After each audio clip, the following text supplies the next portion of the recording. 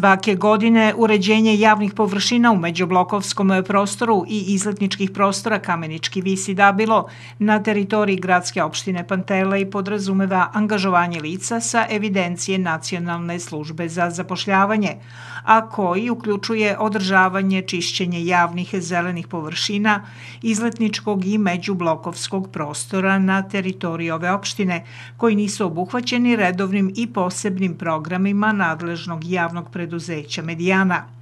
Ovi poslovi realizuju se u vremenskom periodu kada buja vegetacija i kada treba urediti urbane i izletničke prostore, napuštene površine koje gube svoju primarnu svrhu, to jeste gube svoju ekološku i socijalno-kulturološku funkciju u odnosu na potrebe lokalnog stanovništva – Navedene lokacije međublokovskog prostora nalaze se u urbanom delu gde je velika naseljenost i frekventnost saobraćaja, dok se izletnička mesta nalaze u ruralnom delu opštine i koriste ih žitelji celog grada Niša i regiona.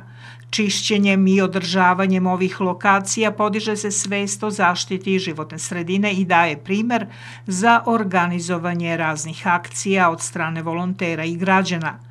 Na ovaj način se održava higijena grada, čiste se zelene površine kako bi se zadovoljili standardi zdrave urbane i ruralne sredine i unapređuje se kvalitet životne sredine grada Niša i gradske opštine Pantelej.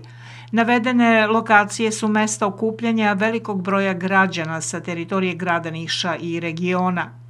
S provođenjem javnog rada građanima će biti omogućeno kvalitetno provođenje slobodnog vremena na očuvanim i uređenim atraktivnim izletničkim lokacijama koje nisu udaljene od Niša, a uređeni međublokovski prostor omogućit će socijalnu dimenziju urbanog prostora – Na ovaj način biće promovisane vrednosti očuvanja životne sredine i odgovornog ponašanja prema prirodnim resursima, što će uticati na unapređenje svesti o važnosti očuvanja životne sredine i lokalnog ekosistema za buduće generacije. Osobe koje budu direktno angažovane na sprovođenju javnih radova iz kategorije nezaposlenih sa teritorije ove opštine i grada Niša dobit će priliku da u skladu sa svojim kvalifikacijama obavljaju poslove uz adekvatnu naknadu i plaćene poreze i doprinose, što će u mnogome doprineti poboljšanju njihovog finansijskog i društvenog statusa